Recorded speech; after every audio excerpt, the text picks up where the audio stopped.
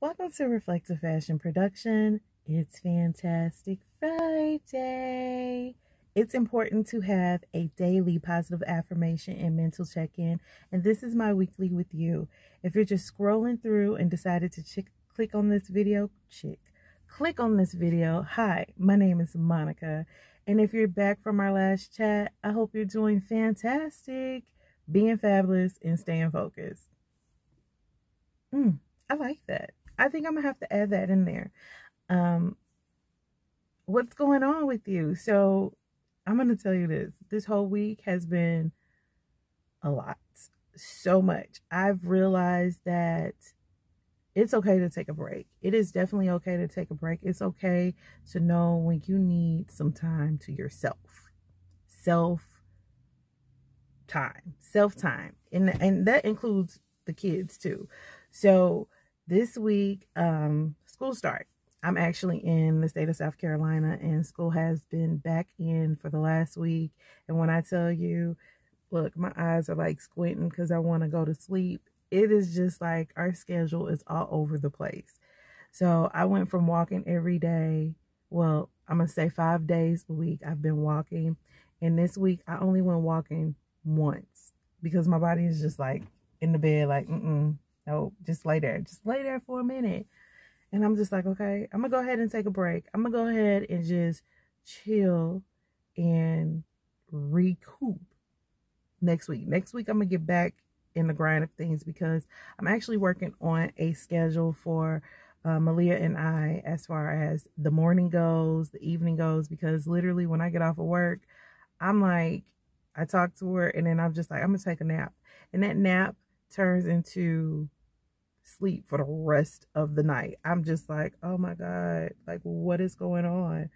So what I decided to do was just like figure out how I'm going to get this done. So I know Monday, Tuesday, Wednesday is that's just like in the beginning of the week. And then Thursday, I know for sure just with me walking every day that Thursdays are those days where it's just like, nope, I'm sleeping in.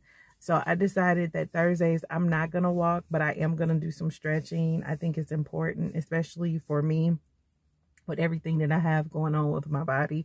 I really need to make sure that I am like incorporating exercise and doing that every day. Just not just not 5 days a week, but every day just going ahead and getting that together. So, what I really wanted to say was taking a break that is really important. You should definitely do that. That will help you just get your creative juices flowing. Not even that, but just being able to relax. That helps as well. Just taking the time for yourself.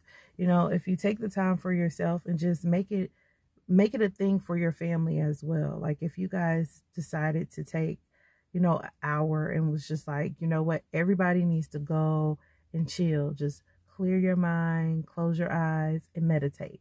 I think that that is a good thing to actually start incorporating just on a daily because if you do that, that will, you know, take away from that tiredness and, you know, being all over the place. I'm telling you, like the last few days, we have literally hit the bed and it's just like in the morning it's crazy because we're like trying to take showers trying to get our day started when naturally at night that's something that we're used to doing you know having all that time. And i think that that's important as well.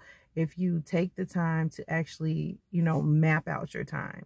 So what are you doing at six o'clock? We're doing dinner. At seven o'clock it's time for you know showers and baths and getting in the bed.